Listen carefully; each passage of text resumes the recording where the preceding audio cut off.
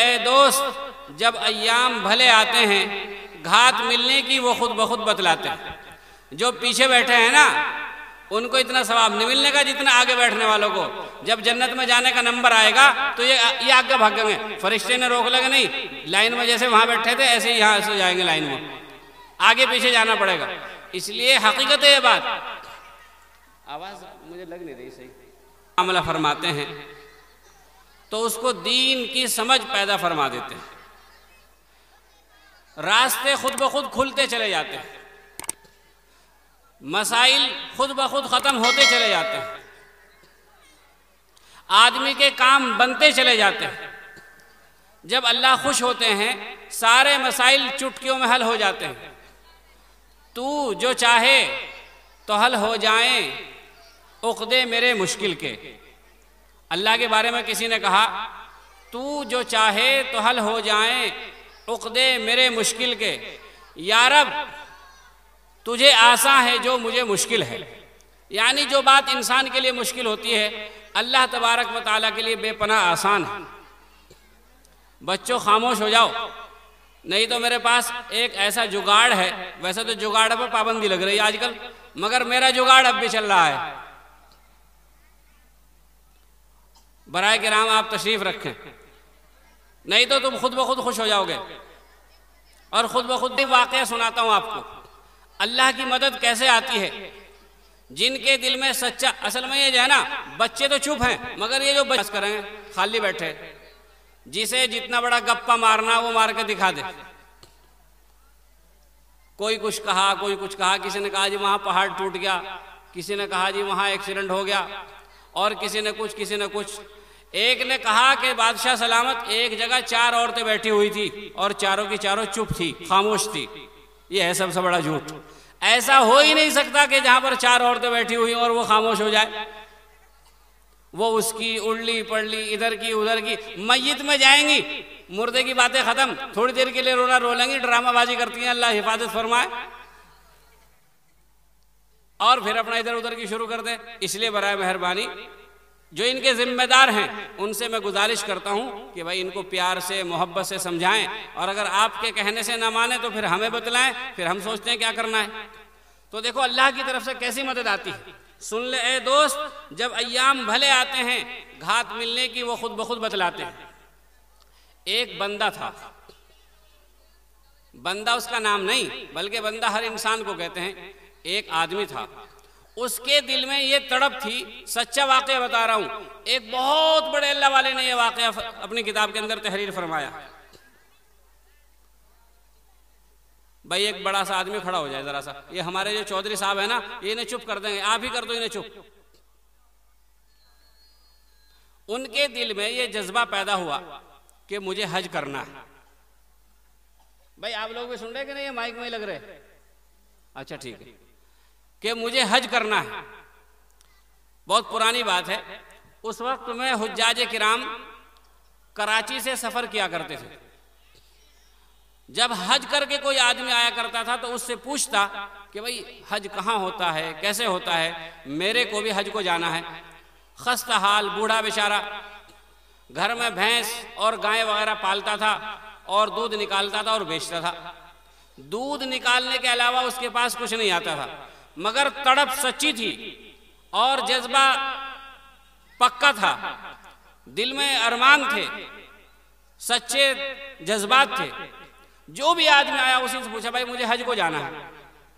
चलते जाते किसी ने कह दिया, हज को तो वहाँ से जाते हैं, कराची से। अच्छा। फिर पूछा, भाई, कराची कैसे जाते हैं?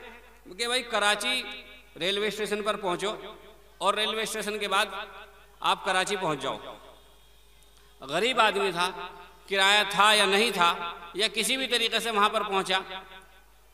बैलगाड़ी में या पैदल, रेलवे स्टेशन पर जाकर लोगों से पूछ रहा, भाई, मुझे कराची जाना है। एक, दो दिन यूँ ही घूमता रहा बेचारा, कोई पुरसान हाल था ही नहीं। किसी ड्राइवर ने रेलवे के उससे कहा कि, भाई, बड़े भैया, क्या बात है? क्यों परेशान हो? आखिर कौन सी मजबूरी है कि, भाई, मुझे हज को जाना है, हज को जाना है, कि भाई, उसके लिए तो आपको कराची जाना पड़ेगा। कहा जी, जाऊँगा।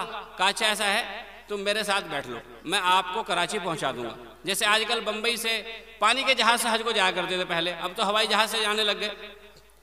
जू तू करके वो बंदा जो है, कराची पहुँच गया। अब उसके पास पासपोर्ट नहीं है, टिकट नहीं है, ज़्यादा राह नहीं है, किराया भाड़ा नहीं है तो जाए तो कैसे जाए? ये तो ऐसा ही है जैसे कोई आदमी, कोई परिंदा बगैर परों के उड़ने लगे, वो थोड़ा ही उड़ जाएगा। लेकिन हाँ जब अल्लाह की मदद शामिल हाल होती है तो जो काम नहीं होने वाले होते हैं, वो भी काम हो जाते हैं। और जो होने वाले होते हैं, वो नहीं होते। नतीजा ये निकला कि वहाँ जाकर भी उसने यही पैगाम देना शुरू कर दिया लोगों से कि भाई मुझे हज को जाना है, मुझे हज को जाना है।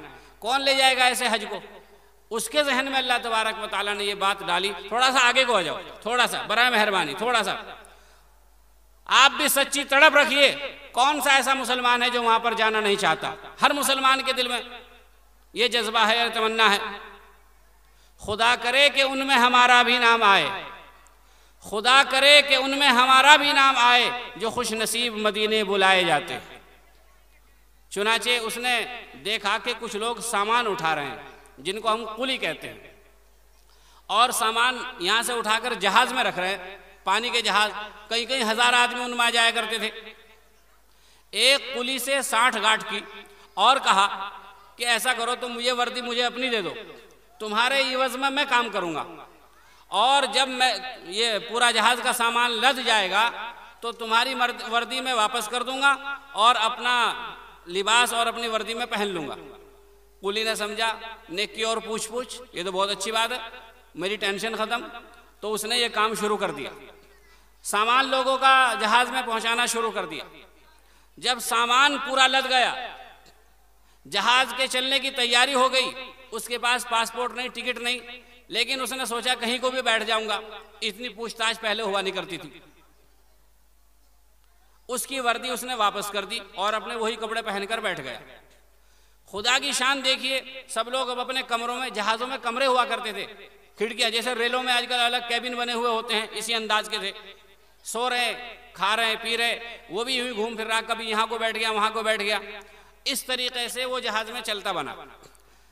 जब जहाज़ बहुत दूर पहुँच गया, जद्दे के करीब पहुँच गया, ये उस जमाने की बात है जब सफ़र पानी के जहाज़ से हुआ करता था।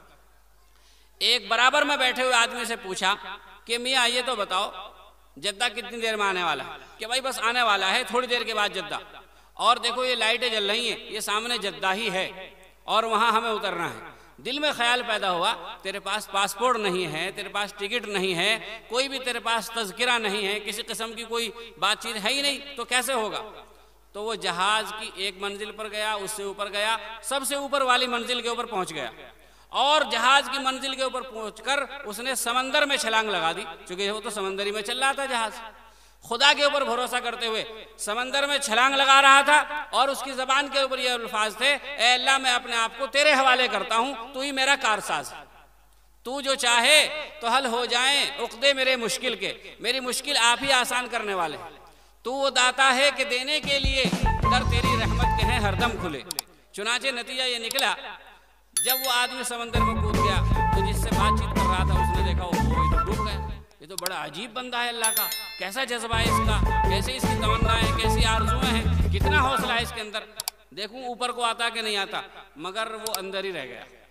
पता नहीं, न मालूम, बहुत दूर आगे जाकर निकला। उसने सोचा, वो तो मर मरा गया और बाकी सारे जहाजी जो थे, वो हज को चले गए। हज करने लगे।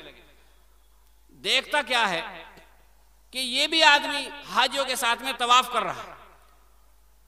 खुदा की कुदरत देखिए कि जिस आदमी से जहाज़ में इसकी मुलाकात हुई थी, वहाँ पर दोनों ने एक दूसरे को पहचान लिया और कहा कि भाई, ये तो बड़ा अजीब माजरा है। आप भी यहाँ हज कर रहे हैं, मैं तो समझ गया था, आप डूब गए। मुझे आप ये बताओ कि आप यहाँ पर कैसे पहुँचे? किस तरीके से जो है अल्लाह ने आपको ये मुबारक दर दिखाया? कैसे आप हाजी बन गए? कहा कि चलो हज कर लो, फिर बाद में बताऊँगा। उनकी दोस्ती पक्की हो गई हज करने के बाद वो आदमी उसको लेकर आया। अपने मकान में एक शानदार महल बना हुआ है, समंदर के किनारे, दरिया के किनारे। और कहा, देखो, बाद में बताऊँगा क्या बात है। ये मकान बिल्डिंग मेरी है, ये ये किला मेरा है, ये गाड़ी भी मेरी है, और ये ड्राइवर भी मेरा है, और ये मेरी आन बान शान सब देख लो, ये सब कुछ मेरा है। कहा, ये कैसे हो गया? कहा कि देखो, जब मैंने जहाज़ में से समंदर के अंदर छलांग लगाई थी तो अल्लाह तबारक व ताली की तरफ़ से एक मदद आई। और अल्लाह ने मुझे आहिस्ता आहिस्ता, मैं कोई तैरना वैरना नहीं जानता था, ज़्यादा, बस हाथ पैर मारता रहा, उल्टे सीधे इधर उधर, और किसी तरीके से मैं किनारे लग गया। जिस वक्त मैं किनारे लगा तो उस वक्त में तहजद का वक्त था। मैं थोड़ा बाहर आया, अल्लाह से दुआ की तो थोड़ा सा दिन रोशन हुआ तो दो आदमी इस बिल्डिंग के पास आए।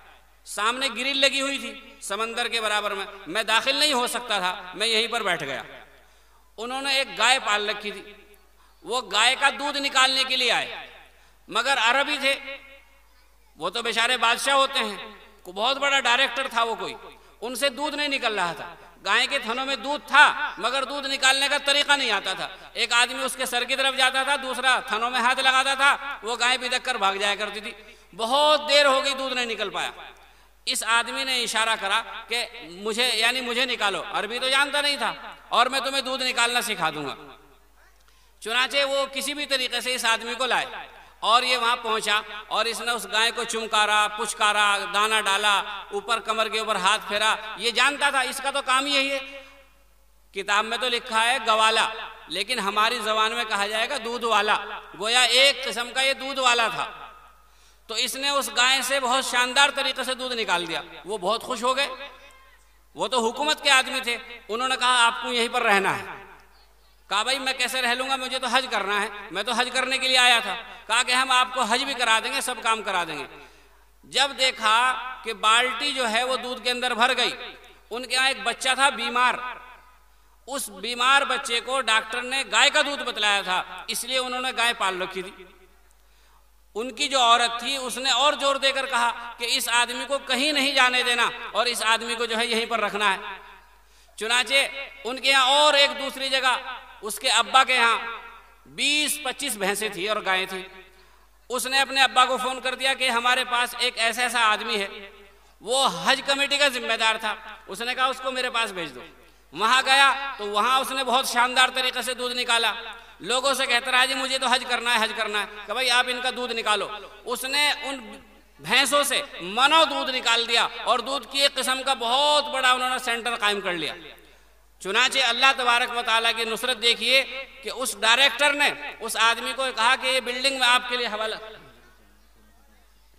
माशाल्लाह, कि अपने घर वालों को भी बुला लो, बीवी बच्चों को बुला लो, भाई बिरादर को बुला लो, दोस्त हबाब को बुला लो। ये पूरा का पूरा किला जो है वो आपका है।